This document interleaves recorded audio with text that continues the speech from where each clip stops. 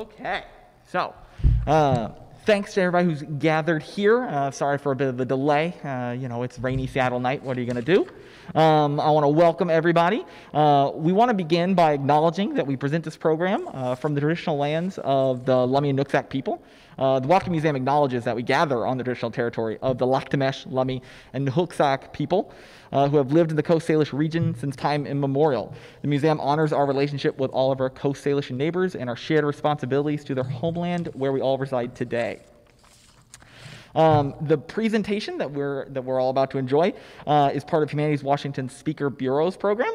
Uh, Humanities Washington is a nonprofit organization dedicated to opening minds and bridging divides by creating spaces to explore different perspectives. Uh, thanks to the National Endowment for Humanities, uh, the Washington Secretary of State, the Thomas Foley Institute for Public Policy, um, and generous private donors. Um, so check out your check out the Humanities Washington website if you haven't. Uh, there's a lot of cool stuff on there. Um, and the Humanities Washington website. Humanities Washington. Yeah. Uh, so, and then, you know, all these programs are meant to generate an open and honest conversation on a lot of topics, uh, some of which are controversial, and we encourage differing points of view and ask that you treat this topic and each other with respect. Um, so that said, um, Jake Prendez is going to be our speaker tonight. He's a renowned Chicano artist and the owner and co-director of the Nepantla uh, Cultural Arts Gallery in Seattle. His work is an amalgamation of, life of his life experiences, a representation of his Chicano background, and a reflection of his time living in both Seattle and Los Angeles. So we're going to welcome Jake Prendez both to the Whatcom Museum and to our virtual platforms, uh, and we'll kick off the show. All right, thank you so much. All right, do I need to keep the mask on from here? Do I need to keep the mask on from here? Okay, cool. Well, so sorry about the delay. I thought three hours was going to be enough time to get here from Seattle. it was not. All right, take this off because I like to walk around. Um, so, again, my name is Jake Prendez, and I'm a Chicano artist. Um, I was born um, in Southern California, a little town outside of Riverside called San Jacinto, um, but raised in Seattle area, Bothell, and um, moved back to LA after college and was in kind of the East LA area for about 15 years almost, and then uh, moved back about five years ago and um, been working up here ever since, and um, deep in kind of rooted in kind of the Latinx art experience in Seattle and kind of highlighting and amplifying what we're doing um, here in Seattle. And I think a lot of people forget that there's a vibrant Latinx arts um, movement happening here. Um, we think of LA, we think of Texas, we think of a lot of different places, um, but you know, Seattle has a vibrant movement. So we're going to go ahead and get started.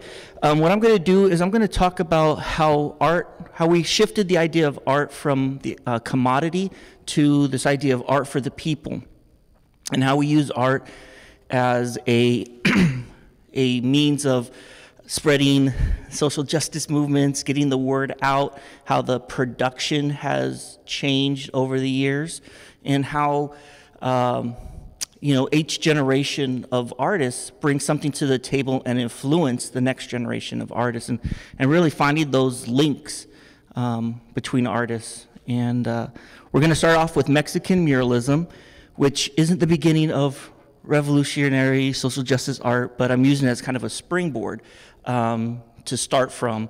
And I, um, so we'll go ahead and get started. If that, and then what I'm going to do is deconstruct my own artwork and how it all relates um, to everything I've talked about. And you know, I don't operate in a bubble, and um, the things I do are influenced by those who came before me. So does that sound good to everyone? Cool. Okay. So um, Mexican muralism kind of is birthed out of the Mexican um, revolution in the 1920s and 30s. Um, up until then, Mexico was kind of seen as more nation states versus this kind of unified Mexico that we think of today.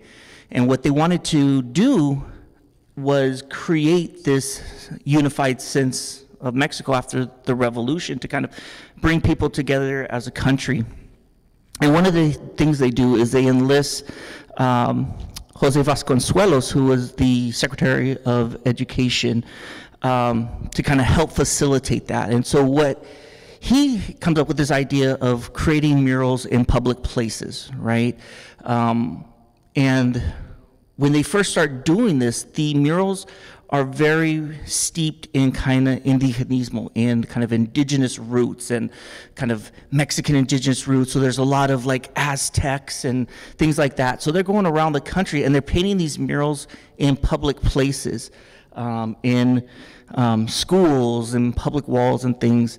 And it, what it does is it really shifts this idea of art as a commodity that kind of the richest people can you know, afford, like the kings can get their portraits and things like that made, um, to really this idea of uh, like a mural where it's for the people. Like you cannot take this whole wall and put it in your your room, right? Um, that it's for the people, and it's you can get your message out through these murals. And actually, one of the people that I think is no one really talks about, but is so influential in this movement is Dr. Atl, A L T, or ATL. Um, and he is actually the professor, the teacher that is the one that's teaching Diego, Diego Rivera, Siqueiros, Clemente Orozco, all these people that become famous muralists and get all the attention. But he was their teacher. He was the one that was talking about these ideas of kind of these fresco paintings and how, um, you know, the shifting of, you know, art for the people. Um, so, Los Tres Grandes, those are kind of the three artists that are most known for Mexican muralism. So, even though there's a ton of muralists out there, these are the ones that are the famous three, right? So, you have David Alfaro Siqueiros, Jose Clemente Orozco, and Diego Rivera. Now, Diego Rivera is probably most famous for being Frida Kahlo's husband. but um, what I love about this mural, and I love about this being projected so big versus like on a little Zoom screen, um, is you really get to see um, kind of this shift, right? Where in the beginning, they are very steeped in kind of this indigenous um, uh, life and capturing our roots. Um, but these artists are very are leftist artists who um, staunch socialists and start really talking about workers' rights, the workers' struggle, um, and their work becomes more influenced by that. And what's great about this mural is you literally see that shift in one mural, where on one side you have kind of the indigenous kind of life and then kind of the mechanization of Mexico. So you have the statue of Coatlicue, who's kind of this like Aztec mother god, right? And on one side, she it's the statue. On the other side, it's a machine. So he's talking about the mechanization of the country and how we're moving into kind of the um, industrial revolution and you know and you have all the workers in there. So um, i think that's a great example of um, that shift. Now while diego rivera and david alfaro siqueiros are staunch socialists um, jose clemente orozco is not. He sees socialism as problematic just as religion is just as Nazi, nazism is that they're all problematic and so, what I, in this mural, which is in um, Guanajuato, I think, is it Guadalajara? Okay, yeah, so Guadalajara. Um, and I got, I got to see this one in person, and those are the two places I'm like, which one was it? Um, but yeah, so you can see you have kind of the hammer and sickle kind of in this bowels of hell, so kind of talking about like socialism. You have the Christian cross, you have kind of armbands with a swastika and things like that in there. So you see where he's talking about, like, all of these things are, are issues and problematic. David Alfaro Siqueiros does not have that issue and literally puts Karl Marx at the front of the mural. Um, and then you have like the original Zapatistas, right, with Emiliano Zapata on the other side and kind of talking about the kind of workers coming together. So what happens is a lot of these muralists start teaching in the United States. Um, so David Alfaro Siqueiros, all of them, um, Diego Rivera, they all get these gigs in the U.S. teaching and painting murals. Start influence artists. Now, term wasn't coined until like actually the 1970s to kind of talk about it, but um, it comes out of the FDR's New Deal and um, the Work Progress Administration creates the um, the Federal Arts Program under the WPA, um, under the WPA. And so what it does is it puts artists to work, right? So they're creating screenplays, they're creating murals, they're creating um, propaganda posters and all these different things. And so it's the whole idea is putting artists back to work. Well, a lot of these artists are literally studying under these Mexican muralists, so they're deeply inspired by them. Uh, for example, there's an artist, um, Pablo O'Higgins, who was originally Peter O'Higgins, right?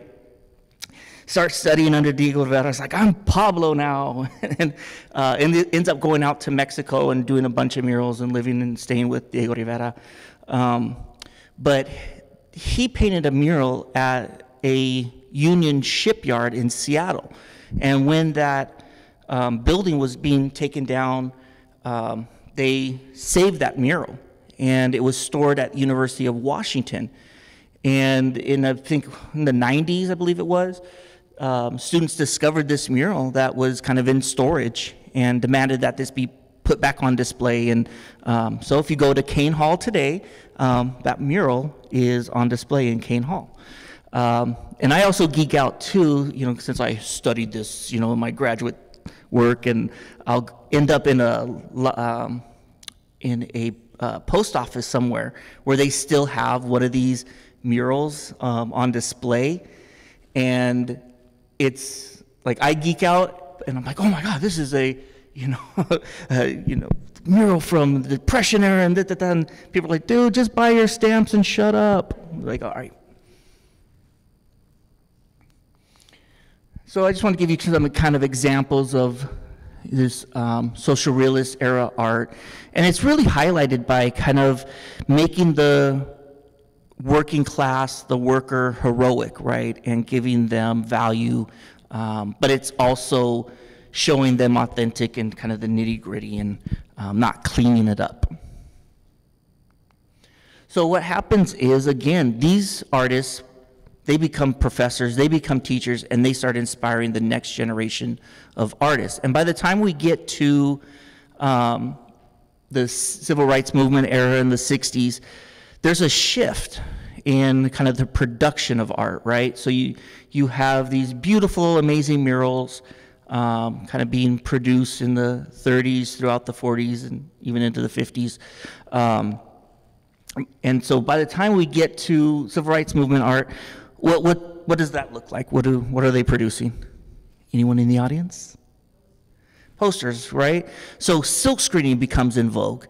Um, and what's great about Silkscreen is it's mass produced. It, you can easily create a bunch of these posters. So again, it's about access to art. It's about putting art in the hands of the people. Um, and where we've literally taken kind of your social justice message off the wall literally into the hands of the people and you can mail these out you can mass produce thousands of them and get them out to a march and things like that um, yeah, so you have uh, one, you know, a poster about the great, the boycotts. Um, you have an Emory Douglas piece in the middle, and Emory Douglas was kind of like the official Black Panther Party artist, and people would like collect the news, the Black Panther newspaper for like the new Emory Douglas piece, and they'd be all excited and like, yeah, I got that new Emory Douglas piece in there. Um, so he became really famous um, and collected, you know, just by the people, right?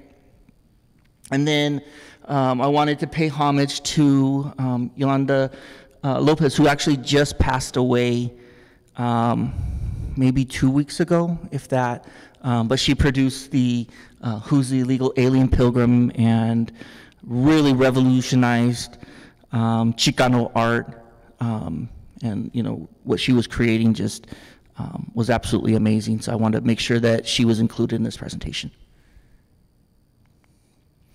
Now, when we get to kind of contemporary art, they look very similar, right? Um, the style-wise, you have, you know, new issues coming up, right? New social justice causes. So you have Black Lives Matter, you have immigration, um, and other things. But does anyone know what's different about these from kind of the civil rights movement art? Digital. Women good observation, but answer is digital.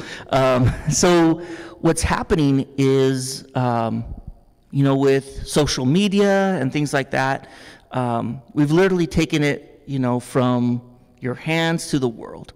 So where you had to at one point like go to a mural to see it, right, and get that message to it moving to, oh wait, I can, you know, get this poster printed and now you know, I can take it off the wall to now I just can upload it on my phone and send it around the world and now I'm Instagram famous. Um, so yeah, so every kind of generation kind of puts their spin on it and that cause is just keeps growing and growing um, and we're getting further and further, you know, and reaching more people. Okay. I'm going to skip those videos because I'm, I'm, late. I'm sorry. Um, but I want to deconstruct the art that I'm producing, right? Um, so this series, um, so I did these murals in Guanajuato, Mexico. Um, God, man, it might be 10 years now. Um, but they brought 10 artists. So 10 of us from LA went out to Guanajuato and created these murals. So it was an interno, like a convent um, or like a boarding school. So it's this these um, it's for abused women and children. Um, so some of a lot of the young girls were orphans or in foster system, and so these nuns are running this um, interno. And what was happening was it's getting tagged up really bad on the outside, and they wanted to detour the graffiti, and um, they wanted an artist to create this mural. And a friend of our, a friend of ours who was in town at the time. Um, they were talking to him. He runs a program called Las Fotos and um, teaches young girls photography and things like that. Um, and they, he was like, "Yeah, I know. I can get some artists from LA to come out here and paint this mural for you." So we were running this program called Art Jam Mondays, and we were just basically at Cal State Northridge. We'd open up the Chicano House, um, which was a building on campus, and we would just paint and we'd invite artists like hey you know it's going to be open. Anyone wants to come paint with us you're more than welcome to you know just paint. We have easels and all that. And so it was just everyone works on their own projects that they're working on but we got to hang out together work on art and you know talk smack and all that. It was fun. Uh, so anyways one of the people that was going to that was approached and he's like hey would you all like to go to guanajuato mexico and do these murals and we were all like, heck yeah, you know, but they can't pay you anything. so we fundraised for a year and we threw all these art shows and fundraisers and things. And, you know, when we were ready to go, we had the money for plane tickets, we had the money for our hostel, we had the money for food, we had the money for paints, we had the money for, you know, pretty much everything was covered. Um, so we went down there and we get there and the city tells us you can't paint a mural on this building. It goes against the aesthetic of the city. We're like that's something you could have told us before we went. Um, but they were actually really cool and we made this agreement that we, we were going to put them on um, panels. And that we could mount these panels and if people objected then they could be removed and put somewhere else um, and so we had this great idea that what if we had the community paint these murals? So what we did with these panels were we um, drew them on. So we designed this, these murals and drew them on, and then we just flyered the city for like a couple days. You know, te invita uh, pintando el mural por el buen pastor.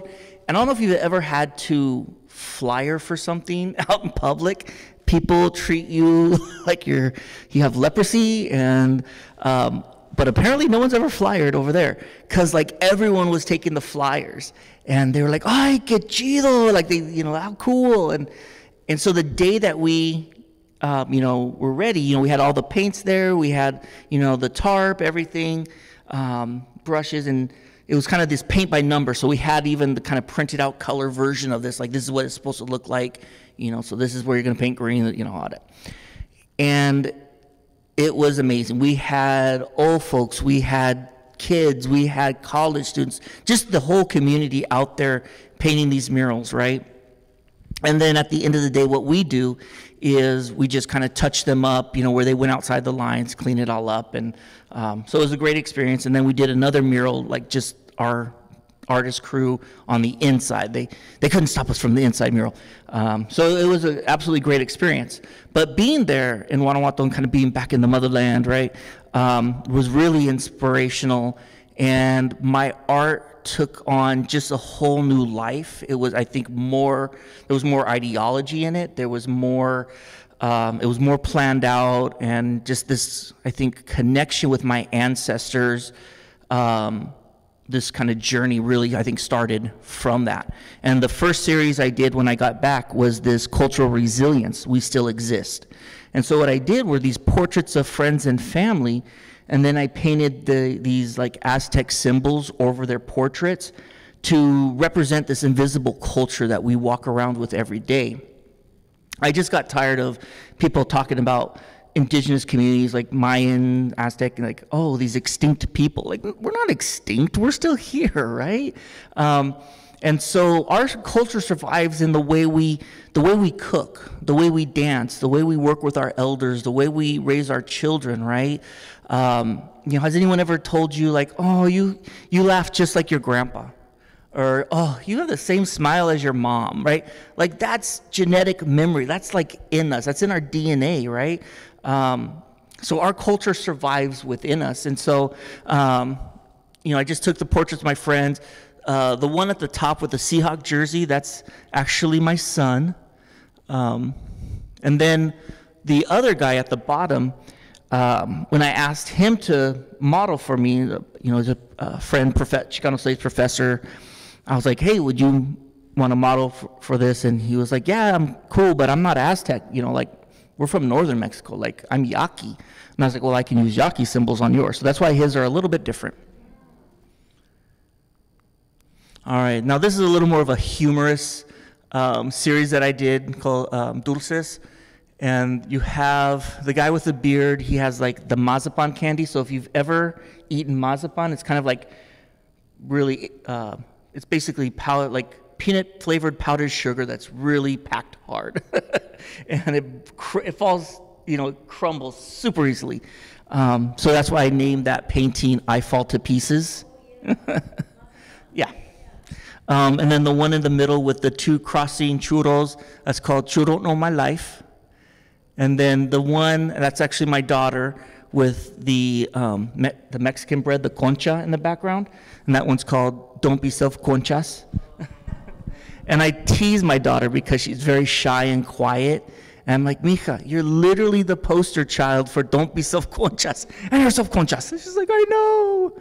Um, yeah, so those, uh, especially the churro and concha one went viral and got me a bunch of like followers on social media. All right, now this series is called Mujeres Fuertes. And so um, the first one is called Be Still My Corazon, and um, she represents love in all its forms. And I tell the viewer, like, you get to decide, you know, the meaning of it. Is she, eh, do you feel great about love and she's offering her heart, or do you feel crappy about love and she's ripped someone's heart out? It's up to you, you decide. Um, the middle one is kind of Mother Earth and the environment, and um, called Life Goes On, and the whole thing with the shoe and the cactus um, you've seen the movie WALL-E, um, Pixar. Um, they, you know, kind of last plant on Earth, and they uh, growing out of a little boot. And so I thought, well, what's the most Chicano shoe out there? Chucks, and uh, and then the nopal growing out of the chucks. And then the last one, she just represents the arts. And um, the model is actually an absolutely amazing artist herself, um, Amelia Cruz. Um, so I wanted to choose an artist to portray an artist. All right, now, um, so I'm working on a series, or continue to be working on this series called Norman Rockwell and Post-Racial America. And what I'm doing is I'm taking these Rockwell images and flipping them in this contemporary lens with POC folk as the um, kind of the center. Now, I absolutely love Norman Rockwell. Um, I'm a huge Norman Rockwell fan. I think he's witty and, um, you know, it's just kind of this slice of Americana, right? But if Norman Rockwell was here today, he would be like, yeah, this is not real, people. Like, I am just kind of really sugarcoating American life, right? And what a lot of people don't know is that he was actually really progressive, especially later in life. He was doing some civil rights paintings and things like that that are beautiful. Um, I will give credit to his wife. I think she was the one that was very progressive and got him to be progressive. Um, but yeah, so I think the right has kind of hijacked Norman Rockwell as this kind of America wish we, we wish we had back, right? And I, I don't think that, you know, like I said, if Norman Rockwell was here, he'd be like, well, no, this didn't exist. like, you can't use this as America we want back if it was never real. Um, so, yeah, so, you know, kind of look, re examining this. Um, this first one I did, um, he had this character, Willie Gillis, kind of the all American boy during World War II. Um, but it was a very kind of, I guess, happy part of war where like he, they, he's coming home for the holidays, he's at USO parties and things like that. But the last one he did with Willie Gillis was Willie Gillis Goes to College, and it was all about GI soldiers coming back, um, or soldiers coming back on and getting the opportunity to go to college on the GI Bill.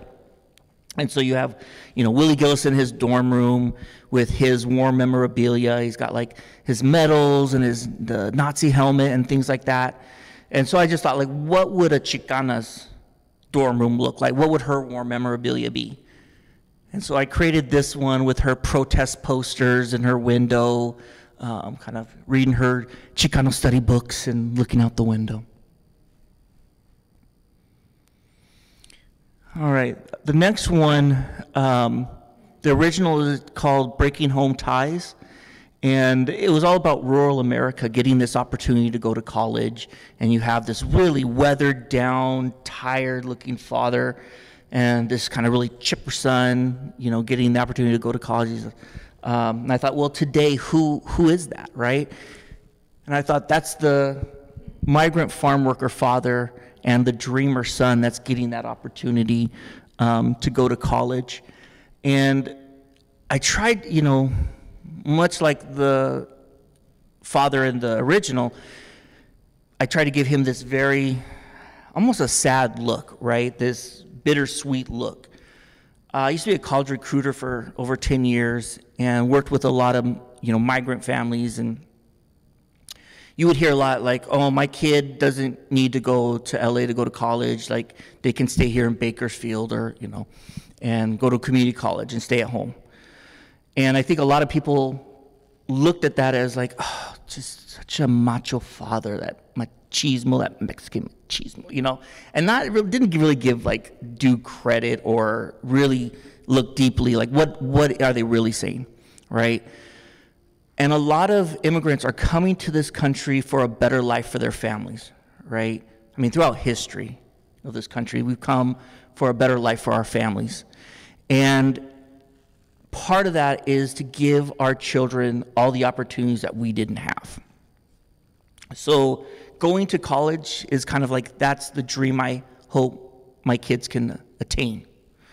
Um, but a lot of migrant folks are treated like dirt. They're treated like the worst, like pariah, like, and it's heartbreaking, right? And the it's like the only people that look up to them, the only people that see their value are their kids.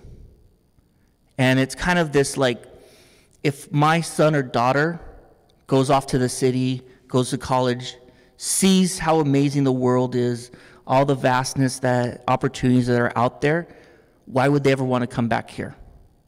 Why, and if they do come back here, are they going to love me anymore? Are they going to see me the same way the rest of society looks at me? Are they going to now look down on me and think I'm not worthy or I'm not, I don't have value, right? And it's heartbreaking to hear that, you know. Um, and it's like, no, they will love you, I promise. Um, so I tried to kind of capture that in this like kind of bittersweet. I, I wanted to give him all the opportunities that I never had, but in giving him those opportunities, I may lose him. Sorry to bring it down. all right, the next one we'll get back a little more upbeat. So the original, you have the girl that's kind of looking at the magazine. You have the Vogue style model on there, um, looking like her head. And I thought, well, who's you know this new generation's heroes, right? Who are young girls looking up to? And I thought of Alexandria Ocasio Cortez.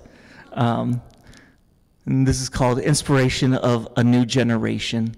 Um, now, when I originally started this painting, um, I had my daughter model for it when she was probably like 12 years old. And I finished this, I think, last year, and she was 21. so it took me a long time to kind of, and actually, the model on the magazine when I first started was Sonia Sotomayor. so that's how long it took me to finish this painting.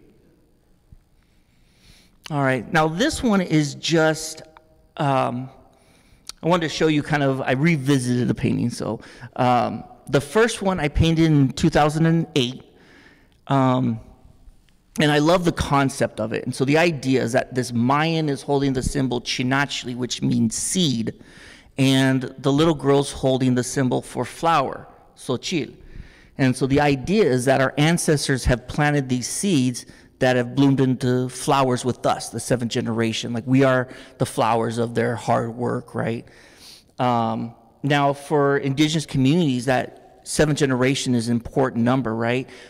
It's we didn't try and make decisions on what was good for us or what was good for our kids, but like seven generations out, what is going to be a good decision.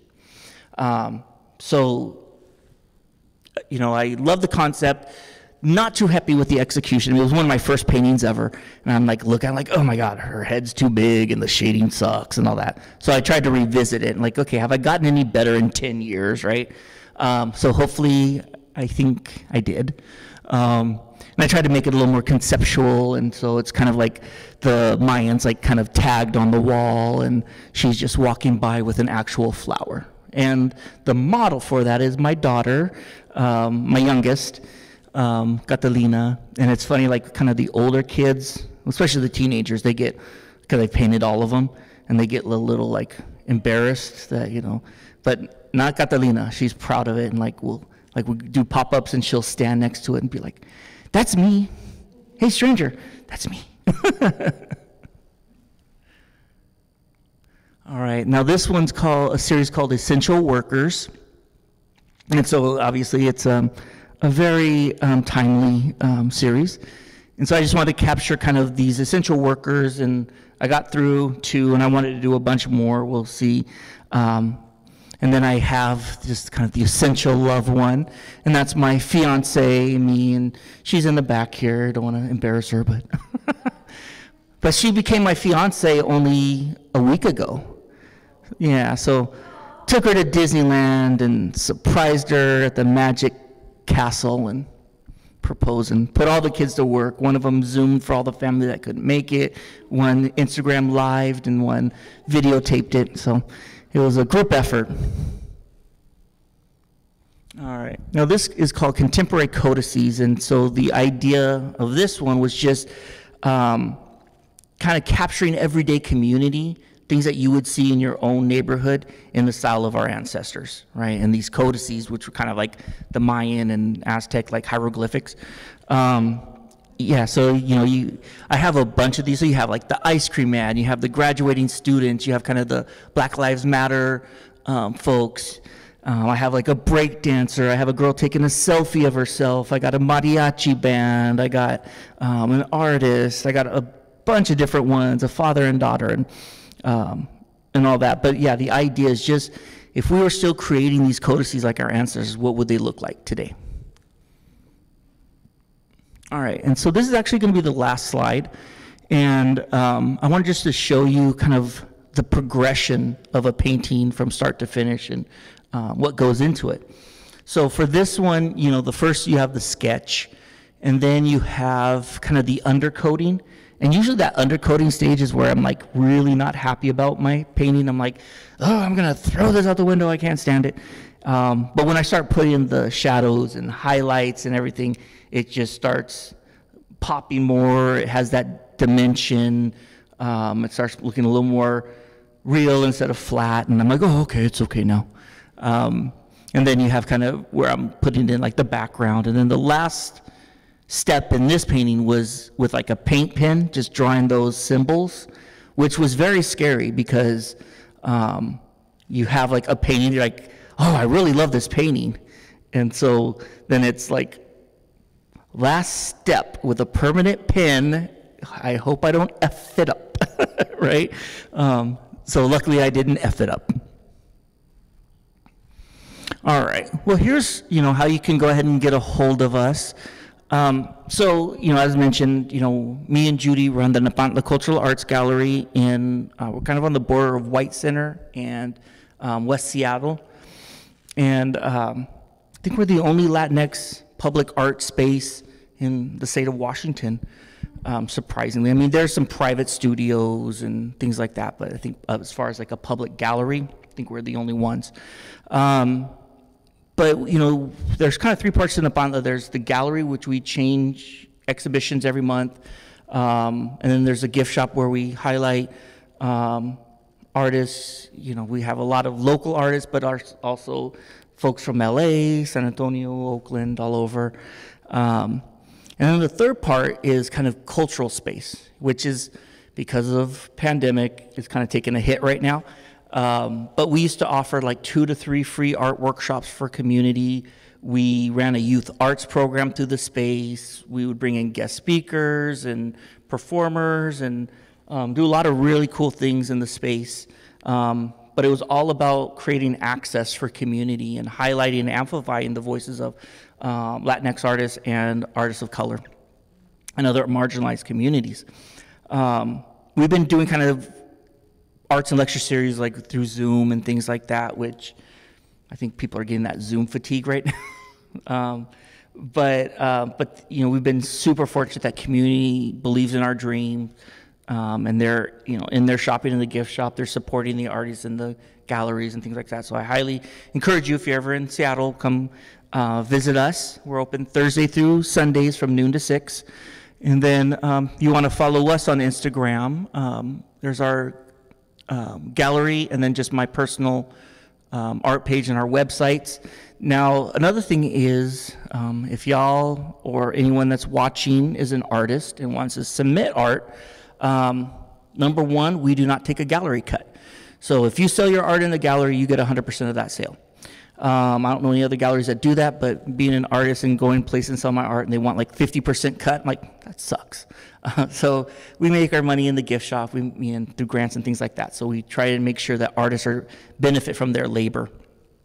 Um, and it's a real, every month we have a new theme and we post those on Instagram and Facebook. And it's just, you email us your submission, you know, if it fits the theme, you know, we, we can select you um, through that process. And um, yeah. So hopefully we get uh, some y'all to submit in the future. All right, so now I just want to open it up for questions. Um, so hopefully y'all were thinking of some questions. um, but yeah, thank you so much. I appreciate it.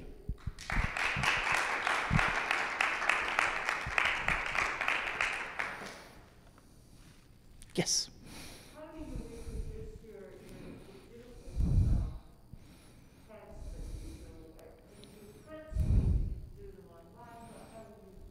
Okay. Yeah. So um, as far as like I have the original, so access to art is very important to me.